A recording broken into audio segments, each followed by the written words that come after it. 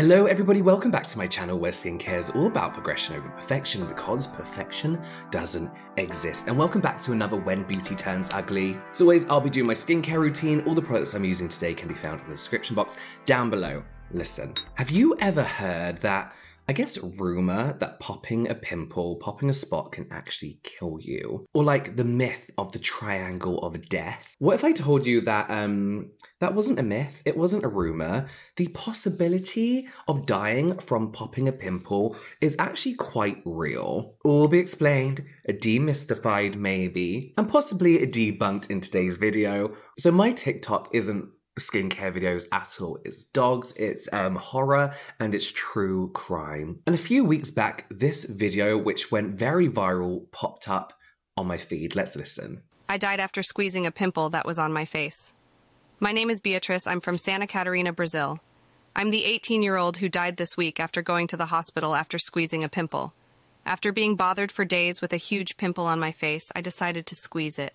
And that's when I signed my sentence because later I would lose my life. And I'm going to cut it short there because this isn't a real story. You know, my thoughts when seeing this was that's horrible that they're using AI to kind of animate a dead girl to tell the story of her death. However, when I looked on the actual profile, they are made up stories, they're AI generated images, it's not real. However, I do have a sneaky suspicion that this story was based on a real person. So, what is the Triangle of death? Well, according to Dr. Amish Adalja, a board certified infectious disease physician, the triangle of death is a slang term for the area of face which includes the tip in between your eyebrows, down to your nose, all the way down to the corners of your mouth. Dr. Adalja says that this area is connected via blood vessels to your skull, where infections can spread more rapidly and become very serious and almost deadly. Now, I am aware of this term before, mainly because it is a popular, like, kind of skincare topic, but also because I get filler in um,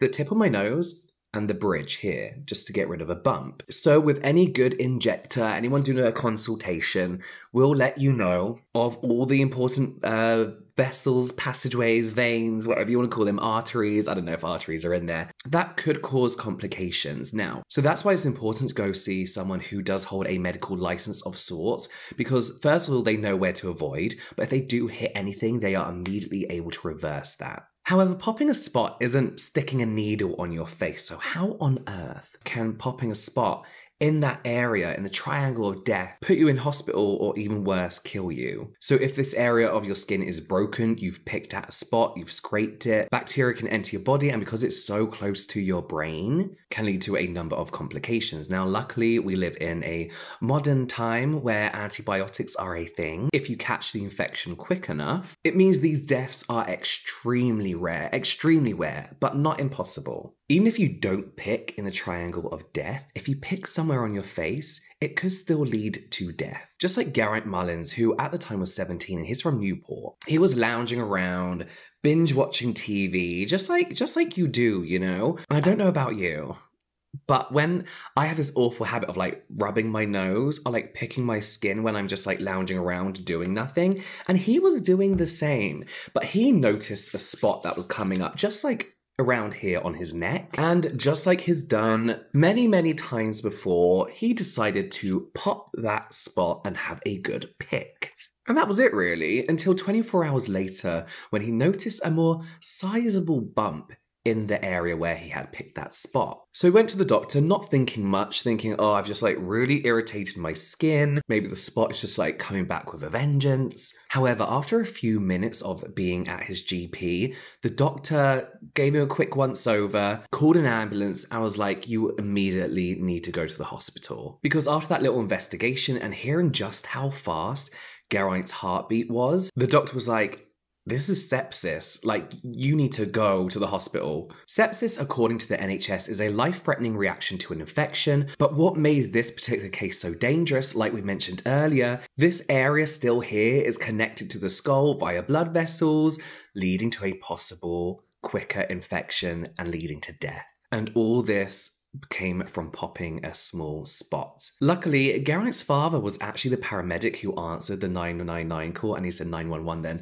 999 call from the doctor. So he knew that that was his son. So he rushed to the doctors, rushed his son to the hospital, where he had two surgeries just to drain this abscess, as well as two blood transfusions. In four days, Geraint's life had gone from just lounging around, picking a spot, to fighting for his life in hospital because he picked a spot. Now, he was extremely lucky because here in the UK, over 44,000 people die each year from sepsis. Of course, this was an extremely, extremely rare case and not even in the triangle of death. However, there were stories of an unnamed 19 year old from China, only reported in the media as Yang. And again, Yang was at home just minding her own business when she noticed a very red dot on the tip of her nose. And again, like any other spot she had before, she gave it a little squeeze, it popped, and she thought nothing of it. However, just a few minutes after popping this spot, she felt a really sharp, like consistent pain under her right eye,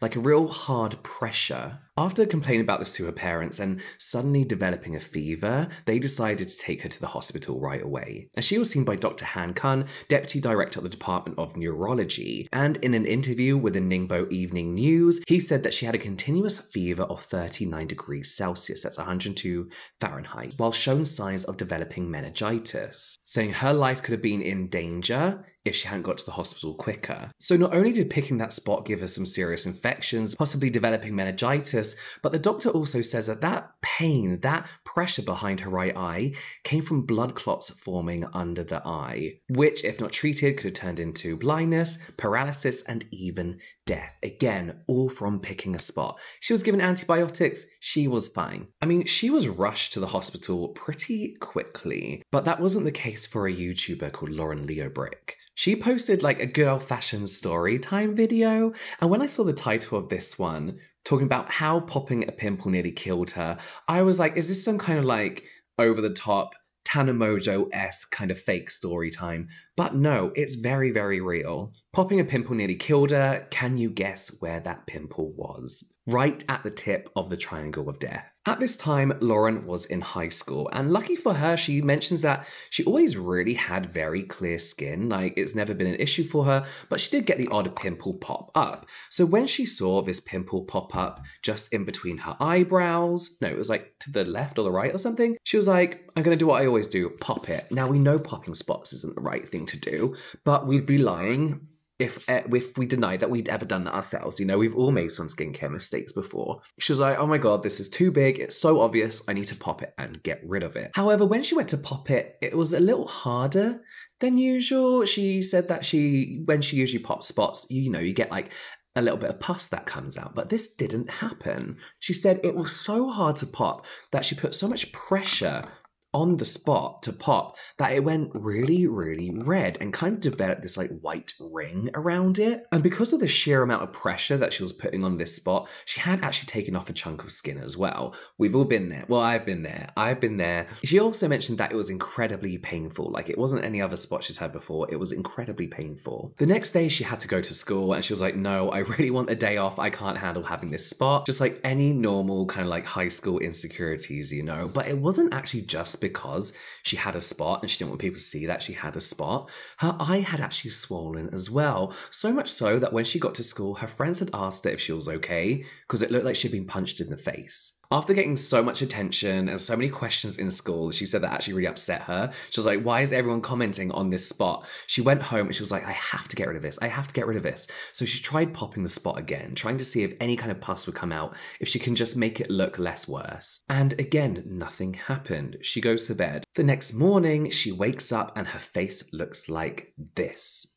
She, she sees her reflection in the mirror and starts to cry, and she goes to see her dad. And her dad was like, Oh my god, let's get you to the doctor. After telling the doctor what she had done to cause this swelling, the doctor did like a little test and told her that she has cellulitis. Now, this is an infection when bacteria gets into the deeper layers of skin. So, for example, you've tried to pick a spot, you've taken some of the skin off, you get an infection that can spread very, very quickly Again, we're right near the skull and can be life threatening if not taken care of pretty immediately. She had a fever, she was throwing up, all because of this infection. They took some blood samples basically to make sure she didn't need a blood transfusion because of this infection.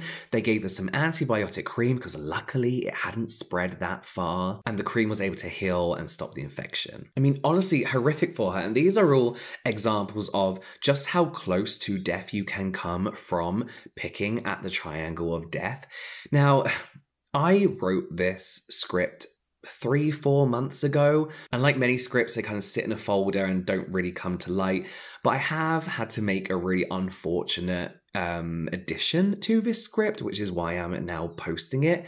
But we do have an example of a death caused by picking a spot. This is DeMillie Beatrice. She was an 18 year old from Brazil. And around June of this year, she had been complaining of having a really stiff neck along with a what she said was a painless pimple on her face. And she did what anybody else would do, really. Um, she got a hot water bottle, took some um, pain medication, and kind of just got on with things, you know? She was planning on maybe getting like um, a deep tissue massage, just kind of help relieve some of the pain she had been experiencing around her neck. However, the hot water bottle seemed to be making the pain subside a lot. However, the pain did start to become pretty unbearable, and that's when she decided to go to hospital. She was quickly discharged, however, because the hot water bottle had been causing some relief to her. However, the next day she woke up with um, a pretty swollen face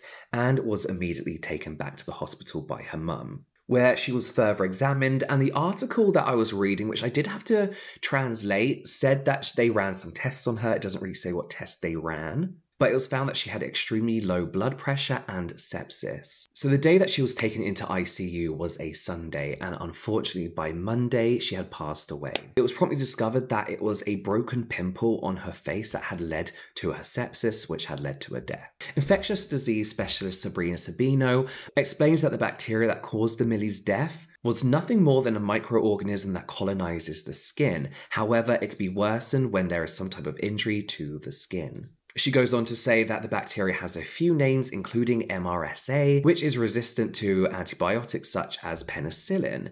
This means that some more common antibiotics are not able to treat this infection. The hospital where DeMillie passed also posted a statement saying, We at Hospital Santa Isabel confirmed that the cause of death of young DeMillie Beatrice was due to the worsening of her health condition due to the bacteria MRSA. This bacterium can be found in non hospital environments and its entry point into the body can be through any lesion. We regret the patient's death. Now, it's unclear where exactly this popped pimple was, other than her face, but from the sounds of it, it doesn't necessarily matter. Again, this is all an extremely rare occurrence, like very, very rare, even in the triangle of death. Treatable infections, when caught quickly, seem to be the more common occurrence, a very rare common occurrence from this kind of injury, pimple popping, it just sounds like popping your pimples in general here is not the best thing to do. Uh, but it does sound like, although very rare, it's not impossible that picking a spot can lead to infections or something more serious. So please be very, very careful. My personal favorite thing to do if I do have an area of skin that I can't stop picking, pop a pimple patch over the top of it.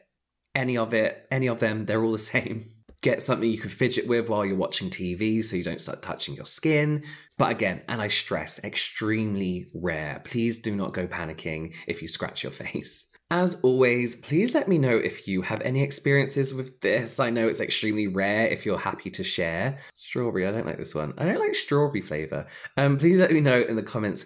Mm, it's a good lip balm though. Let me know in the comments down below. You can watch the full When Beauty Turns Ugly playlist here, some general light entertainment here, and I'll see you over there.